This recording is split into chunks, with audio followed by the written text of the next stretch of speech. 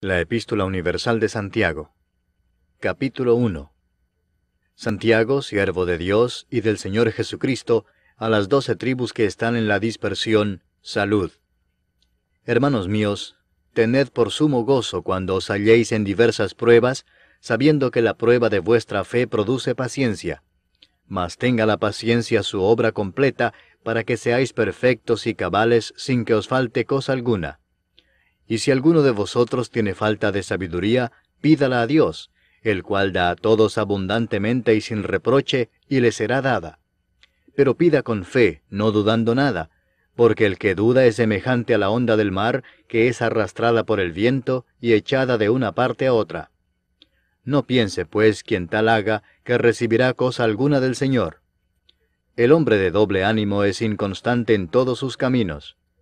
El hermano que es de humilde condición, gloríese en su exaltación, pero el que es rico, en su humillación, porque él pasará como la flor de la hierba. Porque cuando sale el sol con calor abrasador, la hierba se seca, su flor se cae y perece su hermosa apariencia. Así también se marchitará el rico en todas sus empresas. Bienaventurado el varón que soporta la tentación, porque cuando haya resistido la prueba, recibirá la corona de vida que Dios ha prometido a los que le aman. Cuando alguno es tentado, no diga que es tentado de parte de Dios, porque Dios no puede ser tentado por el mal, ni Él tienta a nadie, sino que cada uno es tentado cuando de su propia concupiscencia es atraído y seducido. Entonces la concupiscencia, después que ha concebido, da a luz el pecado, y el pecado siendo consumado, da a luz la muerte. Amados hermanos míos, no erréis. Toda buena dádiva y todo don perfecto desciende de lo alto, del Padre de las Luces, en el cual no hay mudanza ni sombra de variación. Él, de su voluntad, nos hizo nacer por la palabra de verdad, para que seamos primicias de sus criaturas. Por esto, mis amados hermanos, todo hombre sea pronto para oír, tardo para hablar, tardo para airarse, porque la ira del hombre no obra la justicia de Dios por lo cual, desechando toda inmundicia y abundancia de malicia, recibid con mansedumbre la palabra implantada, la cual puede salvar vuestras almas.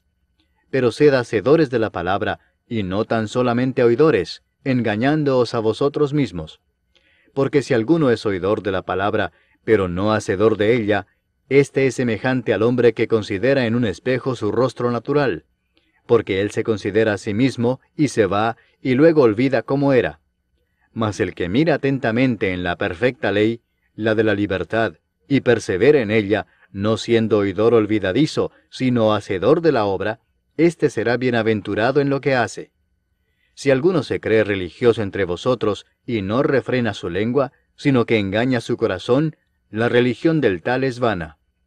La religión pura y sin mácula delante de Dios el Padre es esta, visitar a los huérfanos y a las viudas en sus tribulaciones y guardarse sin mancha del mundo.